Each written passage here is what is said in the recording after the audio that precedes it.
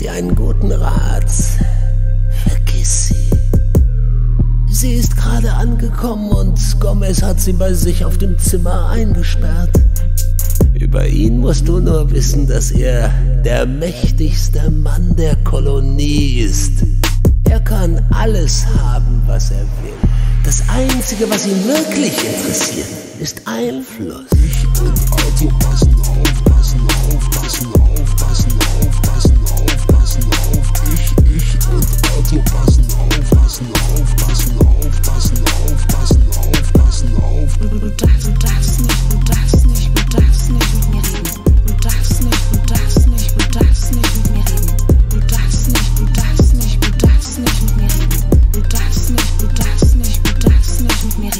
Außerdem kümmere ich mich darum, dass die Frauen hier nicht zu kurz kommen.